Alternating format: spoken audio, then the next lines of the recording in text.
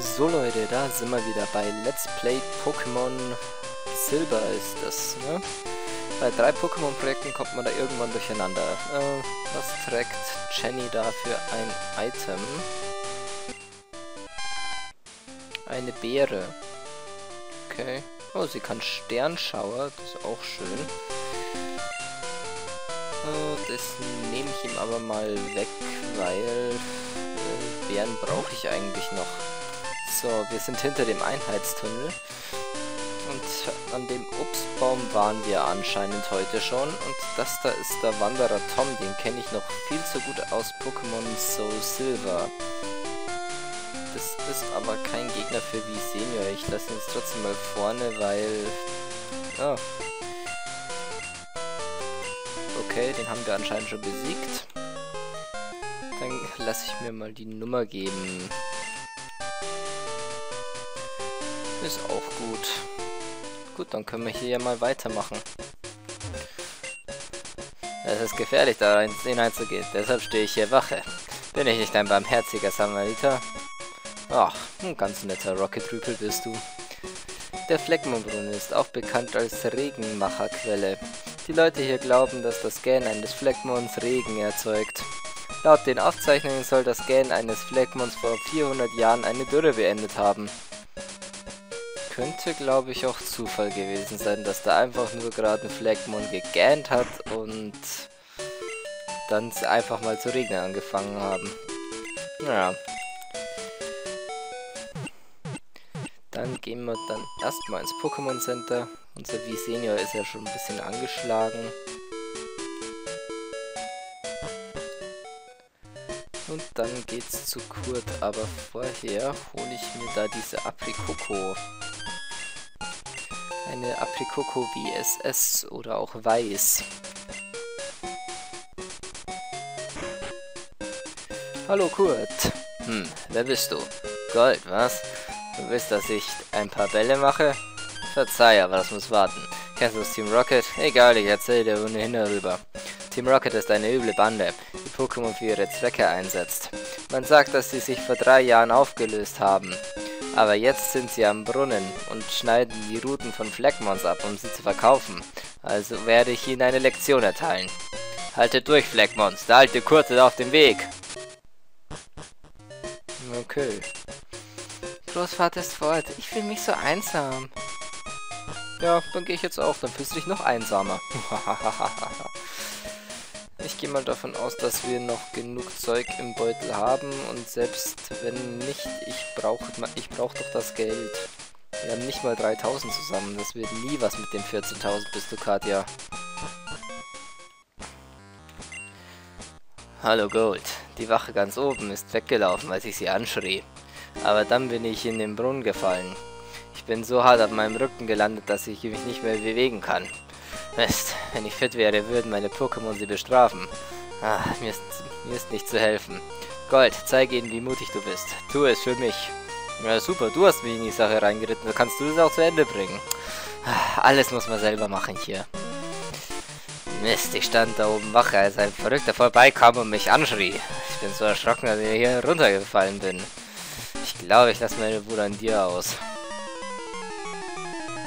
Ach, Generation 2 Rocket Kampfmusik. Schon ewig nicht mehr gehört. Und er hat einen Radfratz. Das sieht doch nach einem würdigen Gegner für unseren kleinen V-Senior aus. Uh, der macht dir mittlerweile Schaden. Gut, das Radfratz ist 4 Level drunter und Radfratz ist jetzt nicht unbedingt für, so für seine Verteidigungswerte bekannt, aber Visenia ist umgekehrt genauso wenig für seinen Angriffswert bekannt weiteres Radfratz. Das können wir doch auch erledigen. Dann könnte das eventuell sogar schon für den Level-Up für wie Senior reichen. Oh, okay. Haut mir der dann einen Volltreffer rein. Das ist jetzt aber schon richtig knapp geworden mit dem Volltreffer hier. Natürlich reicht's nicht. Ah, heute ist nicht mein Tag. Ich habe jetzt aber keine Lust zum Pokémon Center zurückzurennen. Da geben wir einfach einen Trank für ihn aus.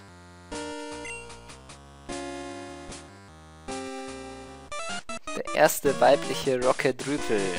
Wir sollen aufhören, den Flecken uns ihre Routen abzutrennen. Wir versuchen uns doch alle zu besiegen.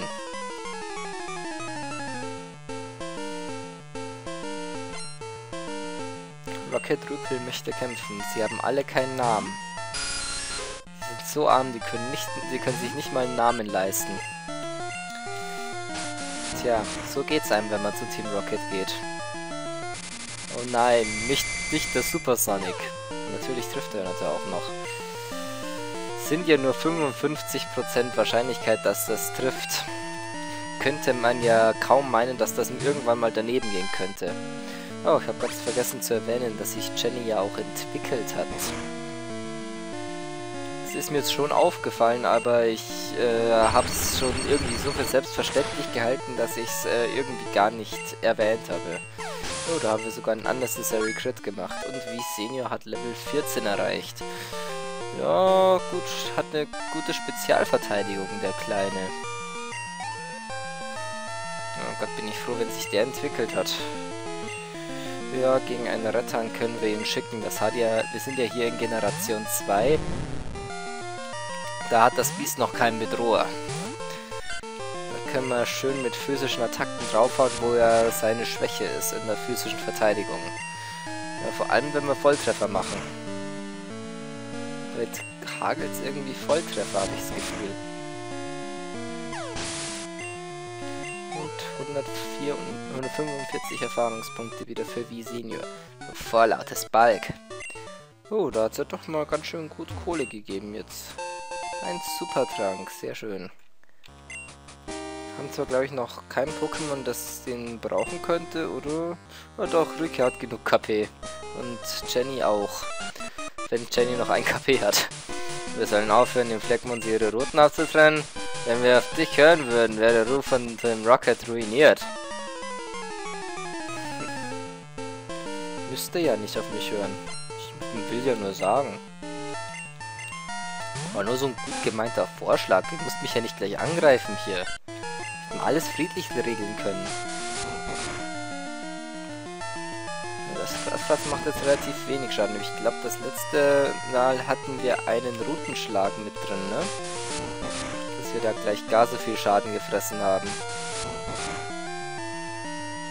Habe ich da an der einen Stelle nicht wirklich aufgepasst. Aber ich meine, das erste Radfratz hat uns einen Rutenschlag gegeben. Da kommt jedenfalls noch ein Zubat. So. Hey! Der Superschall ging daneben? Moment, ich muss mal ganz kurz mein Tagebuch rausholen. Ähm, der wievielte ist heute? Das weiß ich jetzt gar nicht auswendig. Muss ich mal, mal direkt nachschauen. Ah ja, okay, Tagebuch. 5. Mai. Äh, der NPC hat mit Superschall daneben gehauen.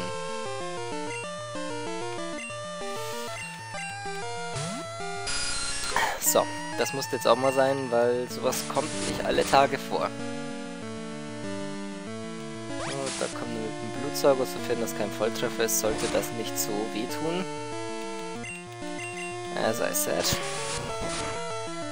Und da kommt der Ruckzuck of Doom, der das Zubat ausnockt. Unser Visenia sweept hier wirklich durch. Und dafür hat er sich jetzt nochmal einen Trank verdient, würde ich sagen. Hat jetzt auch wieder 28 KP. Ein Fleckpunkt mit abgetrennter Route. Puh, es trägt einen Brief. Äh, nee, ich will jetzt keinen Brief lesen. Auch ein Flecken und abgetrennter Route. Und wären wir jetzt in Hard Gold oder Soul Silver, dann wäre das hier ein äh, Rocket Vorstand, nämlich der Rocket Vorstand Lance sind wir aber nicht, deswegen ist das hier nur ein normaler Rocket Rüpel, der ein Smogon hat. Äh, was mir jetzt gar nicht mehr so gut gefällt, weil ähm, Smogon hat eine richtig, richtig böse Verteidigung. Deswegen werden wir hier jetzt mit physischen Attacken auch kaum Schaden machen, wollte ich gerade sagen. Äh, deswegen will ich das lieber mal Jenny machen lassen. Die hat nämlich eine spezielle Attacke mit ihrem Donnerschock. Also los, Dönerschock. Und werden wir in der vierten Generation, dann wäre Sternschauer auch eine spezielle Attacke. Wir sind hier aber in Generation 2 und da ist es eine Normalattacke und die ist wie alle anderen Normalattacken physisch. Was? Ich wurde nicht vergiftet? Das überrascht mich jetzt aber auch ein bisschen. Oh, 171 Erfahrungspunkte, die wurden noch aufgeteilt. Oh. Ja. Für Jenny hat es gerade nicht mehr gereicht. Schade. Du hast dich heute wacker geschlagen, Kleiner. Wir sehen uns. Hey, wie sehen wir... Oh, der entwickelt sich schon Mitte 15? Hey. Das wusste ich jetzt gar nicht. Ich hatte ja noch nie eins. Gott, geht das hier schnell. Ich bin das nur noch von Generation 6 gewohnt, wo das ungefähr eine halbe Minute dauert. Ja, Team Rocket wurde vor drei Jahren zerschlagen. Aber wir haben unsere Arbeit im Untergrund fortgesetzt. Nun kannst du zusehen, wie wir wieder für Unruhe sorgen.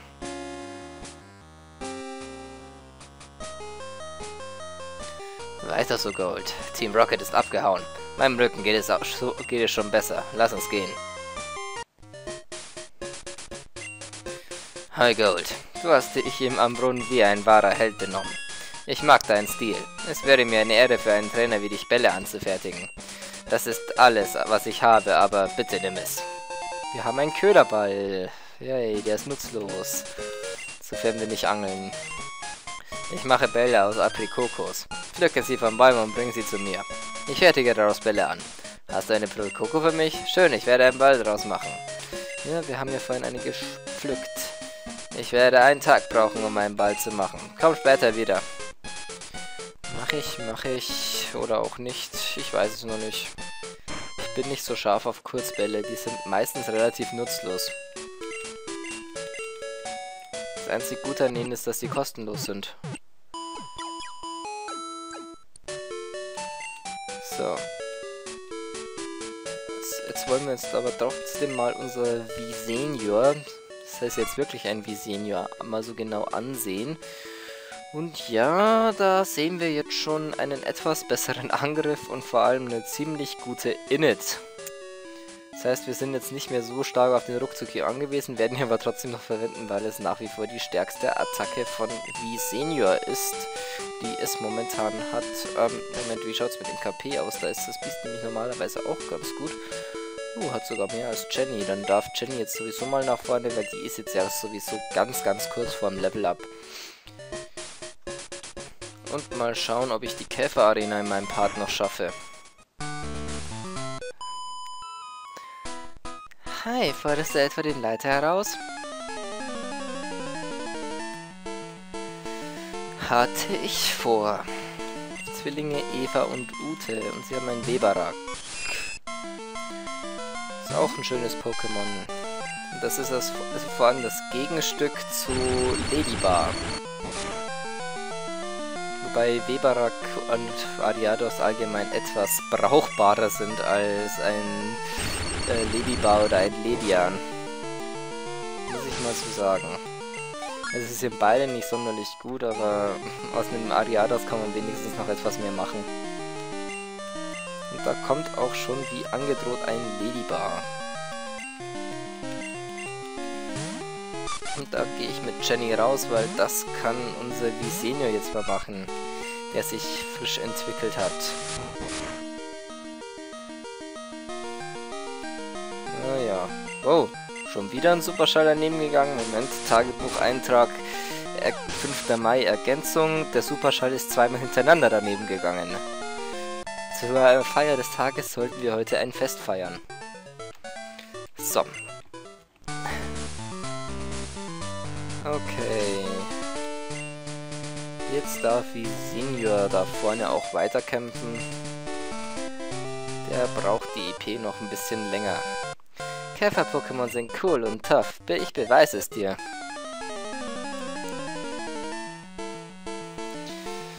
Hm, ich weiß, dass Käfer-Pokémon richtig gut sind. Ich spiele sie selber sehr, sehr gerne, aber nicht die, die du spielst. Wobei, gut, ich habe ein Smetbo in, meinem, in meiner Box rumliegen.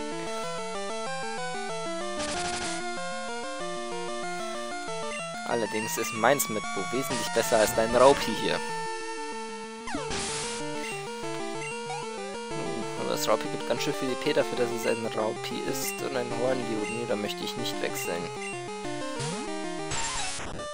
Also los, Ruckzuckieb. Der geht da durch wie Butter, unser Visenior.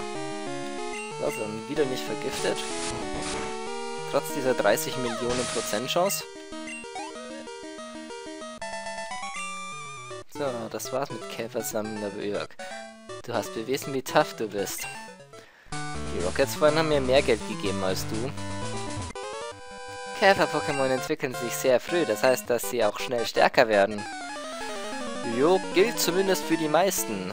Aber wenn ich da so an Ignivore denke, das sich da erst mit Level 59 oder so entwickelt, stimmt das nicht für alle Käfer-Pokémon.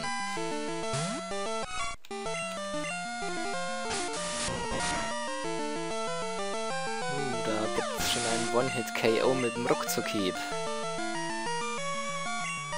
Ein Kokuna hat er. Dann ist sein letztes bestimmt ein Bibor oder auch nicht. Ich weiß es jetzt gerade nicht mehr.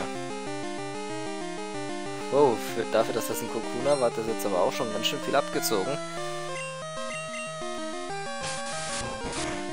Und ein Kokuna gibt auch ein gutes Stück mehr Erfahrungspunkte. Sollte es zumindest. Ja, ein Biber hat er noch. Das hat ja einen ganz schön großen Sprite. Biber hat trotzdem eine relativ bescheidene Verteidigung.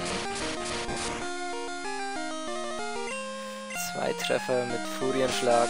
Tja, da hast du gefailt. Aber es ist trotzdem, glaube ich, das Beste, was du hättest machen können. Weil der Step-Gift-Stachel wäre da auch nicht so viel besser gewesen.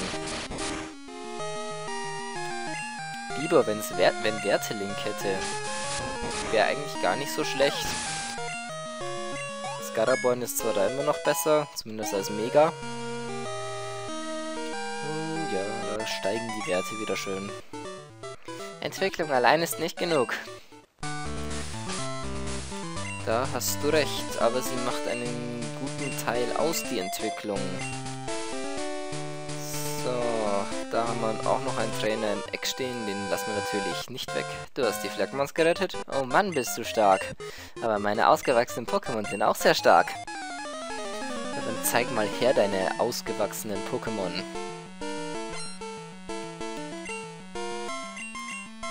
Ein Paras. So ausgewachsen ist das als aber nicht. So, da gibt's erstmal einen Sternschauer zieht jetzt weniger ab, als ich gehofft hatte. Muss ich mal so dazu sagen. Aber Vati ist jetzt auch nicht unbedingt so gut im, im physischen Angriff. Der ist eher im Speziellen richtig gut.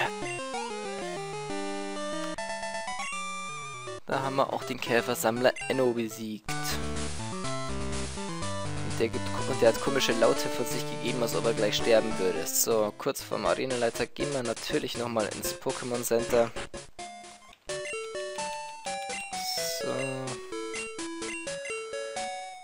Einmal wieder voll heilen, Schwester Joy.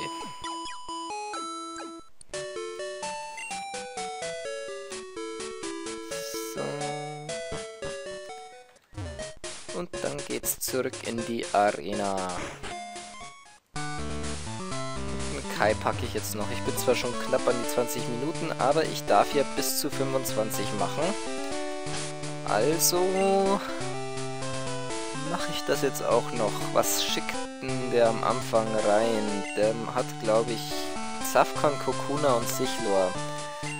Also, ich bin Kai, ich verliere nie, wenn es um Käfer-Pokémon geht. Meine Forschungen machen mich zu einer Autorität auf diesem Gebiet. Lass mich demonstrieren, was ich gelernt habe. Dann zeig mal, was du kannst, Kai. Ein Safconf. Damit fängt er an. Level 14. sollte kein Problem für uns sein, wenn wir speziell angreifen, weil Safcon mit gerade mal 25 Spezialverteidigungsbasis hält da nicht sonderlich viel aus. Jenny wird diese Arena wahrscheinlich sogar im Alleingang machen müssen, weil gegen Kokuna hat sie ebenfalls die besten Chancen und gegen Sichlo erst recht. Es wäre jetzt cool, wenn Kokuna vorher kommen würde, weil ja, dann kriege ich nämlich noch einen Level up, bevor das Sichlo kommt. Dann kriege ich das nämlich sogar ziemlich sicher kaputt.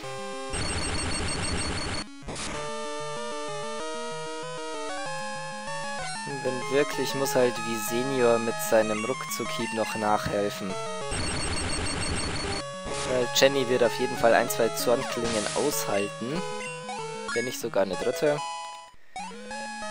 Zornklinge ist hier sowieso noch so verdammt schlecht. Fängt ja hier mit Stärke 10 an. So. Da kommt sicher... Oh, das ist ja sogar nur Level 16. Oh. Da lasert er mich erst mit seinem Silberblick. Will meine Def schwächen. Ja, komm nur her.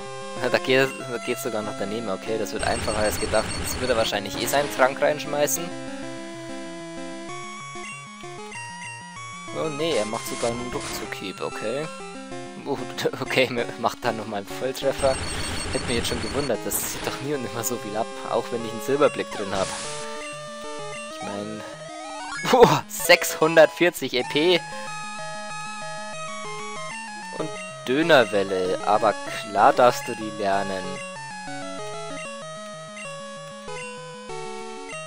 Da darfst du den Heuler wegmachen.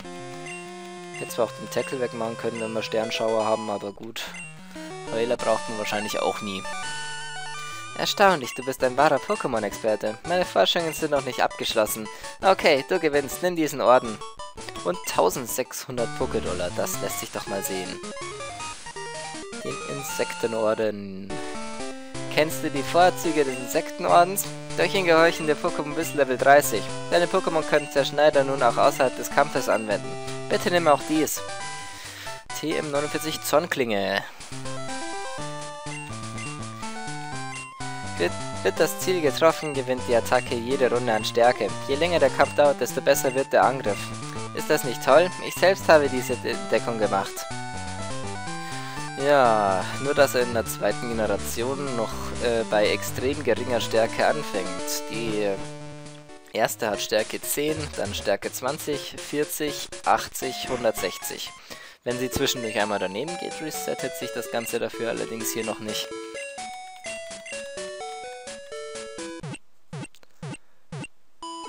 Seit der fünften Generation fängt es bei Stärke 20 an und seit der sechsten haben wir sogar schon eine Startstärke von 40, womit die Attacke nicht mehr ganz so schlecht ist. Die Maximalstärke ist allerdings nach wie vor überall bei 160. So, das war aber genug Info für heute und genug Pokémon für diesen Part. Ich beende hier diesen Part und mach, lass beim nächsten Mal den Fliegi hier weitermachen. Der darf dann äh, als nächstes den Rivalen Silber verkloppen. Und jo, bis zur übernächsten Folge. Es hat mal wieder Spaß gemacht. Jo, haut rein. Ciao.